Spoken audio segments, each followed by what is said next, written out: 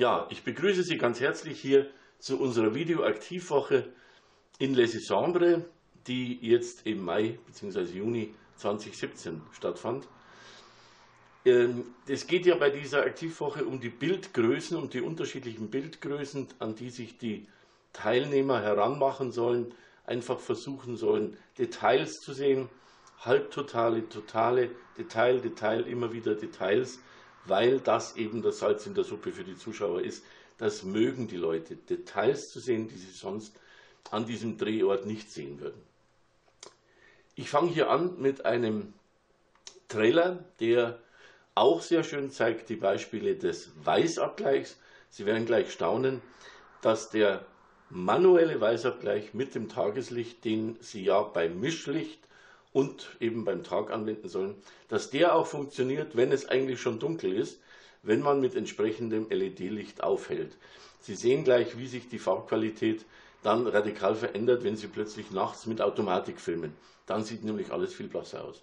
Also viel Spaß erstmal mit dem Trailer.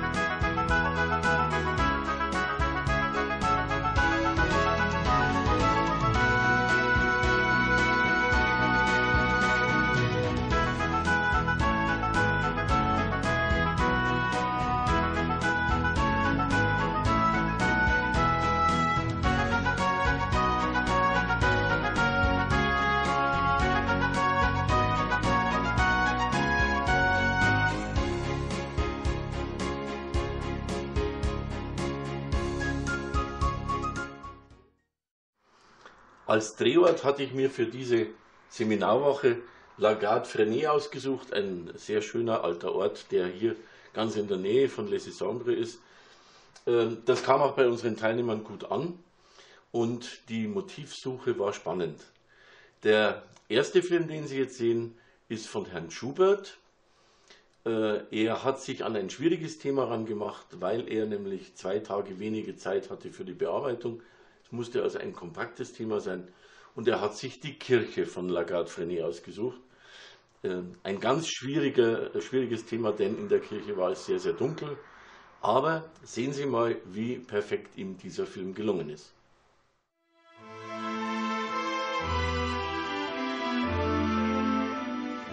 Die Gemeindekirche St. Clement in Freinet wurde im 18. Jahrhundert wegen der wachsenden Bevölkerung auf den Grundmauern einer mittelalterlichen Kirche wieder aufgebaut.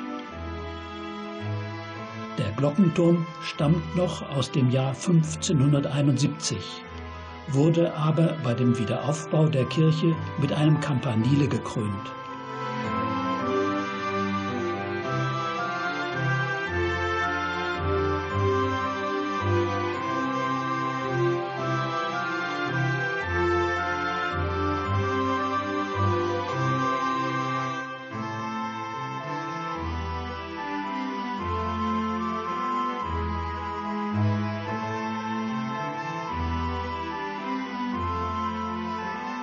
Aber schon 100 Jahre später bot sie nicht mehr genügend Platz. Der erhoffte Erweiterungsbau scheiterte daran, dass die umliegenden Bürgerhäuser von der Gemeinde nicht erworben werden konnten.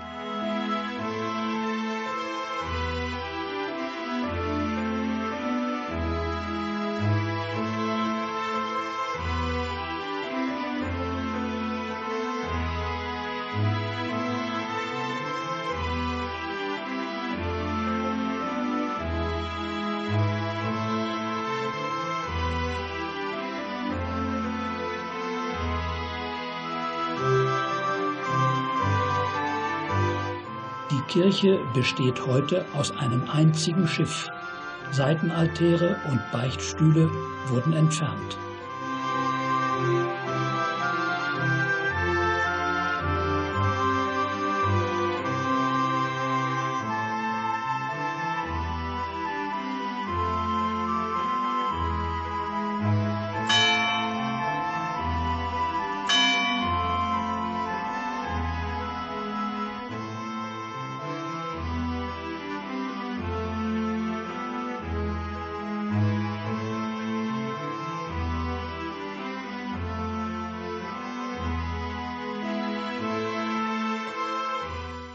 Ja, also sehr schön gelungen.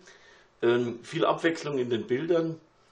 Ähm, manchmal ein bisschen Überlängen, wo der Schwenk von der, von der Glocke, von dem Glockenturm aus Fassade nach unten geht zur Tür. Das ist eine unnötige Überlänge, weil der Zuschauer wird nirgends hingeführt. Er verfolgt diese Kamera, aber er sieht eigentlich nicht, was da sein soll. Äh, sehr schön diese Blende, die äh, unten ist bei diesem Taufstein ähm, wo es die Treppe so runter geht. Die Kamera führt den Zuschauer die Treppe runter und dann in das Detail dieses Steins. Der saß zuerst nicht deckungsgleich mit der geblendeten Ersteinstellung. Das haben wir dann korrigiert. Ich habe Herrn Schubert gezeigt, wie man das macht, dass man in ein Bild hineinzoomen kann und es somit im Bild verschieben kann. Ist sehr schön gelungen. Ich habe ja vor vielen Jahren ein Bewertungssystem, ein Punktesystem entwickelt, das wirklich sehr gut funktioniert und wo man fast blind darauf vertrauen kann, dass die Zuschauer die Filme so sehen, wie ich sie erkläre, nämlich nach der Kreativität und nach der technischen Ausführung. Da bekam der Film von Herrn Schubert bei der Kreativität 28 Punkte und bei der technischen Ausführung 32 Punkte. Mit den 28 Punkten wurde er ein bisschen benachteiligt, aber das war natürlich das Thema. Das Thema dieser Kirche und die hohe Bewertung der technischen Ausführung war die Perfektion der Bildeinstellungen. Also auch schwierigste Einstellungen bei diesem schlechten Licht oder bei diesen schlechten Lichtverhältnissen. Die, die Maria mit dem Kind äh, auf dem Arm äh, zuerst von unten, so wie man sie wirklich sieht, und dann äh, auf gleicher Höhe äh, zu, zu äh, zu filmen und das aneinander zu schneiden. Das war einfach sehr schön gemacht und da gibt es einige Einstellungen, wo das so war. Deswegen also diese hohe Bewertung.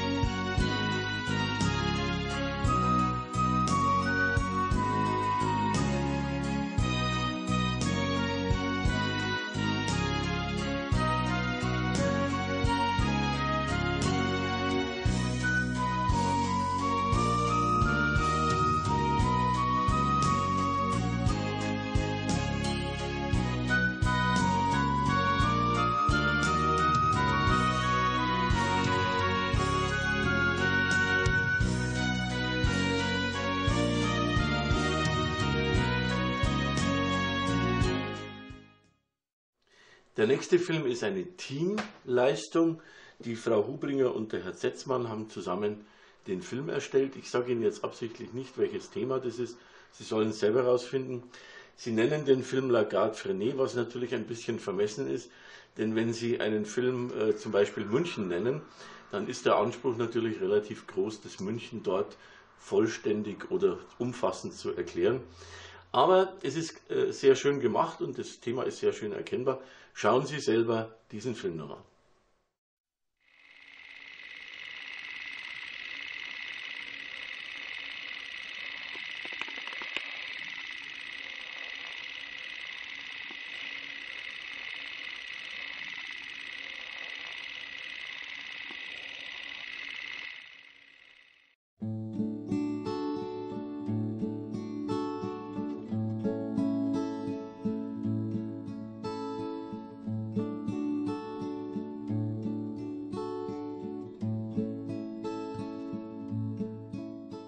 Eines der Symbole des Dorfes ist das Kreuz der Mauren.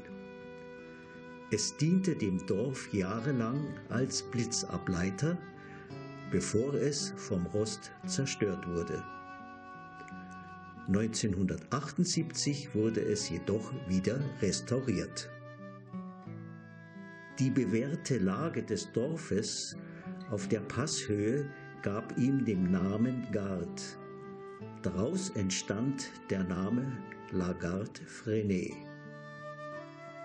Eingebettet im Herzen des Massiv des Maures hat das alte provenzalische Dorf seine Ursprünglichkeit weitgehend behalten.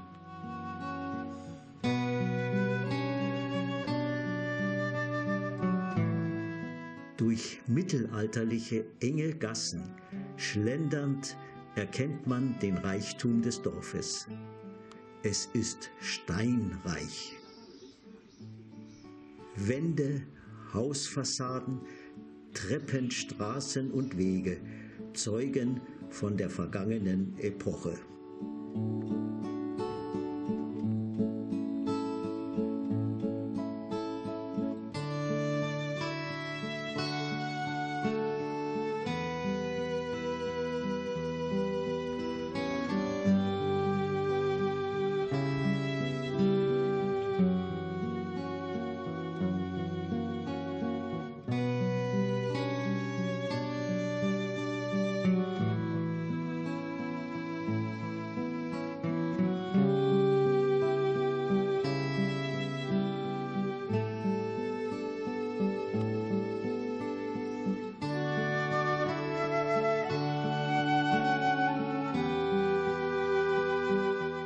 Kirche ist dem Schutzpatron der Gemeinde St. Clemens gewidmet.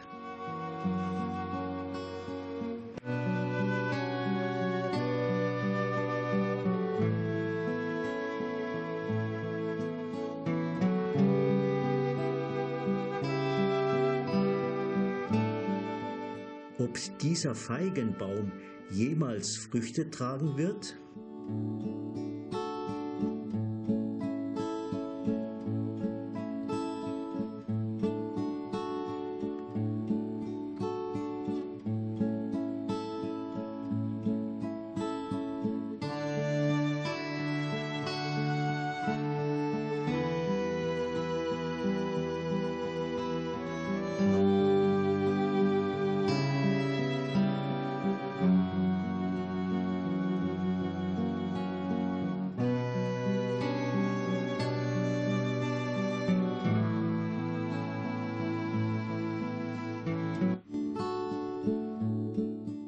Als Bremsklotz kann ein Stein verwendet werden.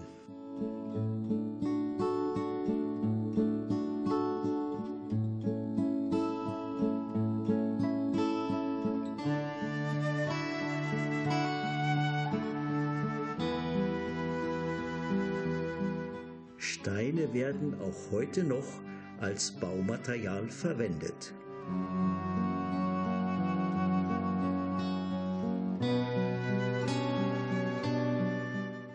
Für die Krone einer neuen Gartenmauer. Selbst die Wasserhähne am monumentalen Brunnen, die die Becken speisen, sind mit Steinmasken verziert. Viele liebevolle Details schmücken die Hauswände.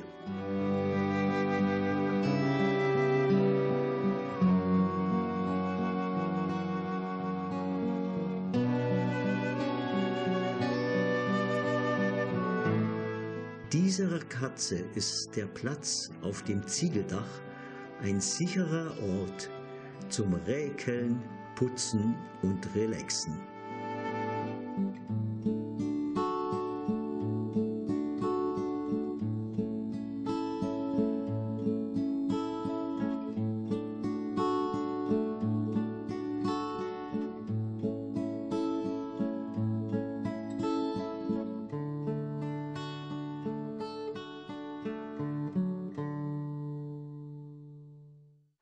Ja, es waren also die Steine und die Mauern, die das Thema waren. Und äh, was sehr, sehr schön gemacht wurde, war die Abwechslung der Bildgrößen, die vielen Details, die zu sehen waren, die der Zuschauer normalerweise nicht erkennt. Oder er geht ganz nah an die Mauer ran, um diese Details zu sehen. Auch sehr, sehr schön die artverwandten Dinge, die zu Mauern gehören, die, die Beschläge von den äh, Fensterläden und so weiter. Also sehr liebevoll gemacht, viele, viele Details.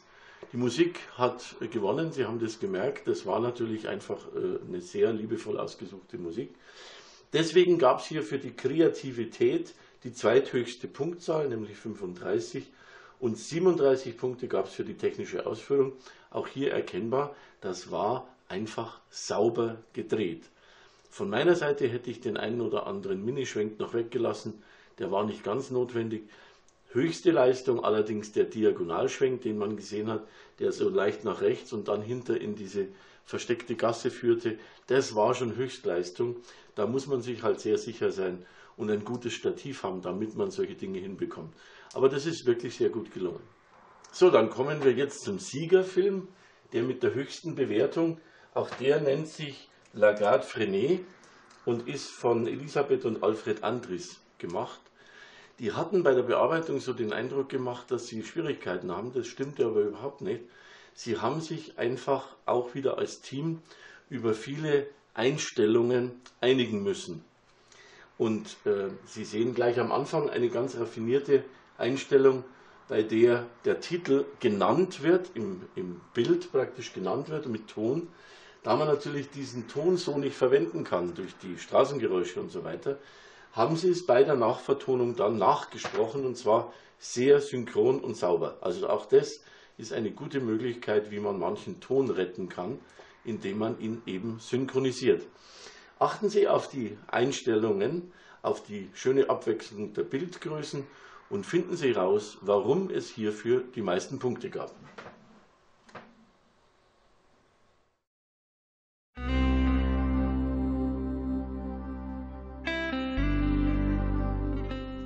Sie sehen Impressionen aus dem keltischen Städtchen an der Côte d'Azur. Lagarde Frenet. C'est bon.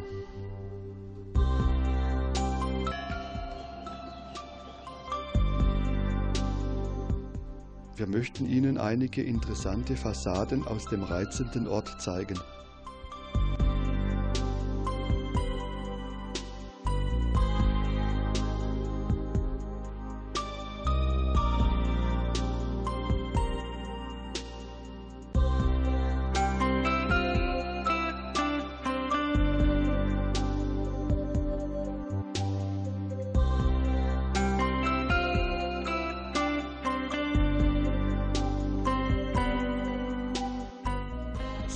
Fenster kann auch für allerlei Gerümpel gut sein.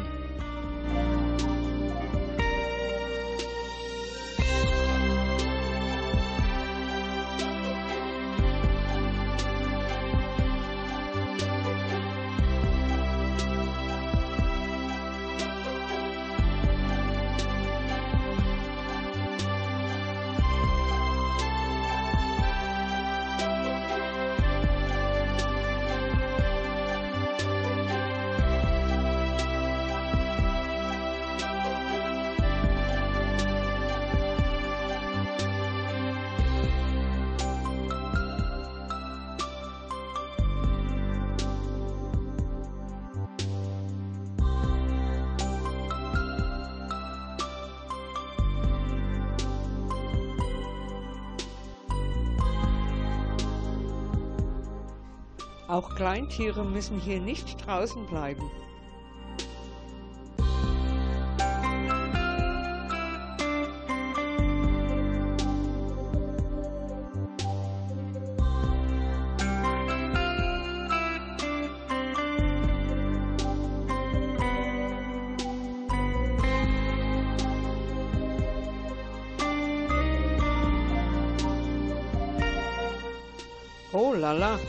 Briefkasten ist heute aber voll.